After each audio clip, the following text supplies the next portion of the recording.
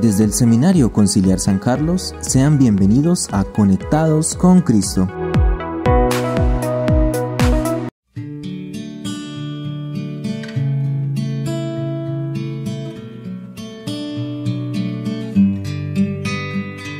Rabuní, haz que recobre la vista. Queridos oyentes de Conectados con Cristo, el Evangelio para el día de hoy es muy hermoso que nos edifica en la fe.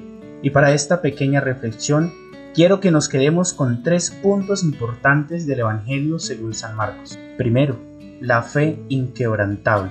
Bartimeo demostró una fe firme al clamar a Jesús a pesar de las adversidades.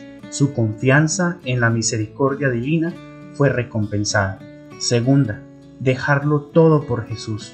Bartimeo arrojó su manto y se levantó para seguir a Jesús. A diferencia del joven rico, que valoraba más sus posesiones. Bartimeo eligió seguir al Maestro. Y tercera, restauración y dignidad.